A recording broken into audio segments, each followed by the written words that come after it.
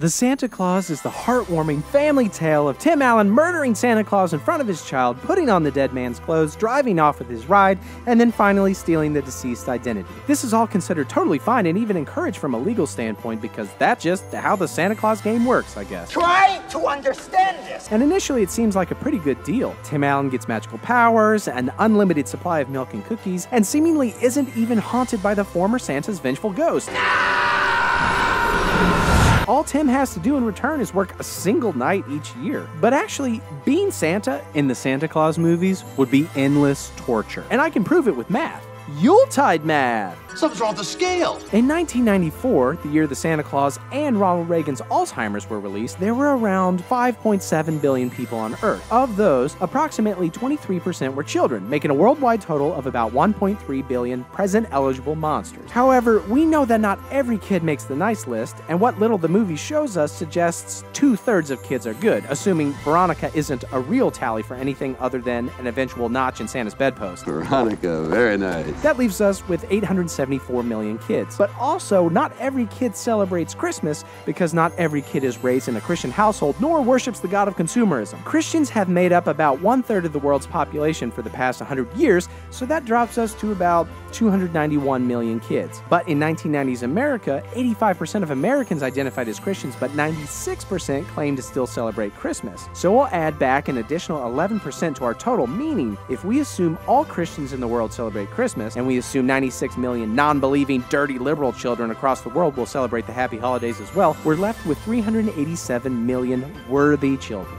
Now, I'm tempted to say adults could receive presents as well, since that's exactly what happens in both the Santa Clause 1 and 2, but the first instance was just a one off to prove he was real to Tim's ex wife and her husband, and the second was a successful attempt to one horse open sleigh and pussy. So, unless Santa's betting millions of women a year, those types of gifts shouldn't move the needle too much statistically. In your dreams, Playboy. Hmm? But now, here's where the math gets really wild. The global average fertility rate is just below 2.5 children per woman, so let's assume that's the average number of kids per household. We'll also assume all naughty kids live together in godforsaken households Santa can avoid entirely, which means 155 million households are in need of joy deliveries. If each household requires an average of 5 minutes for travel and delivery, which feels like an underestimate, but Santa's probably pretty efficient at this point, his yearly deliveries take 775 million minutes or 1474 years. Thank God Santa can literally stop the flow of time. But don't forget, barring immortality, Tim Allen is just an average human being. He doesn't have any special physiology or mental powers to withstand the passage of time as he slides down chimneys and leaves Pokemon cards for ungrateful kids, he experiences all 1,474 of those years in real time. Even worse, it's not like he can just pop into a Denny's since their cooks are also frozen in time and basically everywhere else would be closed that late on Christmas Eve. And Tim clearly can't cook for himself and regardless probably doesn't want to waste any more time than he has to, which means Santa's entire diet is basically going to consist exclusively of cookies and milk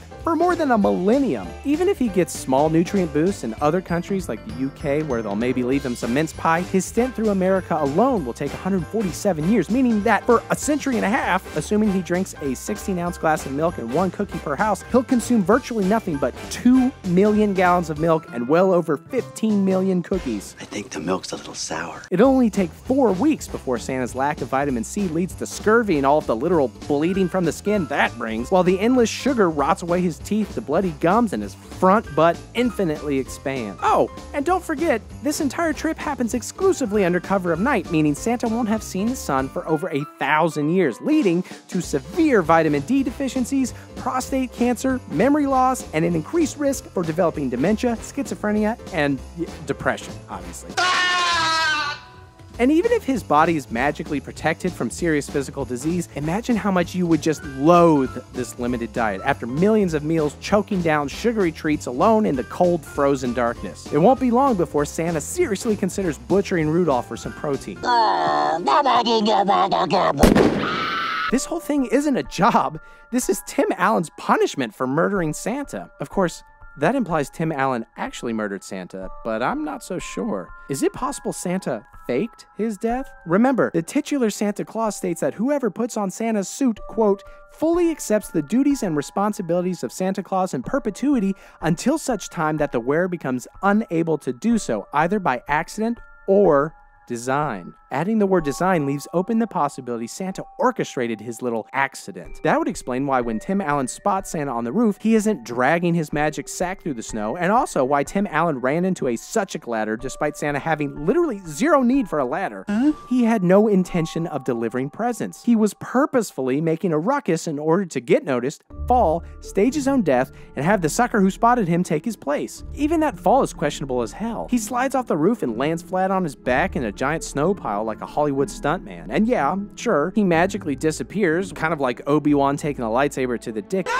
But Santa is literally magic, meaning he doesn't have to be dead to teleport, and that's without even accounting for his whole host of magic elves with attitude at his disposal. And speaking of elves, this would also explain why none of them seem too worried their boss was murdered, and why Bernard just mostly seems annoyed that he has to explain shit to his new overlord. The old Santa was probably losing his mind after too many eternities spent sucking down reindeer farts over the frozen Pacific Ocean. Santa probably gave the elves an ultimatum. Free me from this endless torture, or I'll go on strike. I'll refuse to deliver presents, or I'll only give children the last Airbender on Blu-ray. Ho ho ho! The elves had no choice but to devise a plan to trick some new schmuck into taking on the gig. Old Saint Dick isn't dead. He's chilling in South America somewhere, juggling seven martinis on his rosy gut. I don't even wear pajamas. Normally I sleep naked. Fuck naked. The weirdest element of this is probably how hard Tim Allen fights to hold on to the job in Santa Clause 3. You'd think he'd be happy for Nick Frost to take over, even if he does a shit job. The only explanation for it has to be that Tim Allen's brain has freaking fried into eggnog mush. That's probably why head elf Bernard has left by Santa Clause 3. He finally found a Santa he could break down into a warped, subservient shell of a man once and for all.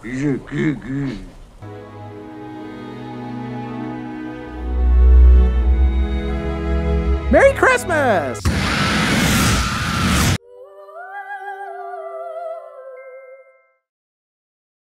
Obviously, there's the aforementioned Japanese tidal wave created by Moose. Moose. hey, it's me, Moose Almighty, the third movie in this franchise. God is really tired, okay? Just give it to a moose. I don't even care. oh my god, he's screwing up so bad. A moose is a terrible god. I didn't know. didn't really do much. He just killed all of the bears. And like, Could turn the whole forest into berries. it's all low leafy growth. okay.